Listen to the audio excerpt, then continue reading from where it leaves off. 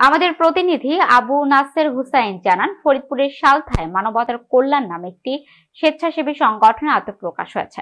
আজ দুপুরে উপজেলা পরিষদ চত্বরে এই সংগঠনের আত্মপ্রকাশ ঘটে। এই সংগঠন মানব কল্যাণে সব সময় কাজ করবে।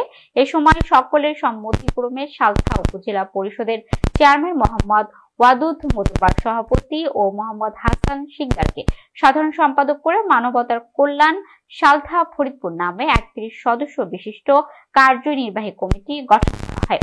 এই সংগঠনের উদ্যোগে আগামী তেইশে ডিসেম্বর বুধবার সকাল দশটা থেকে দুপুর দুইটা পর্যন্ত কাউলিকান্দা সরকারি প্রাথমিক বিদ্যালয় মাঠে ফ্রি ব্লাড গ্রুপিং পরীক্ষা করা হবে বলে সংগঠন নেতৃবৃন্দ জানিয়েছেন।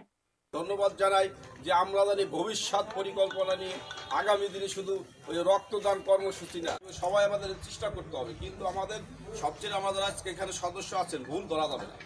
ভুল ধরে ইচ্ছে থাক ইচ্ছে থাকে আমরা এক ব্যাগ রক্তদান করি একটা কম্বল দেই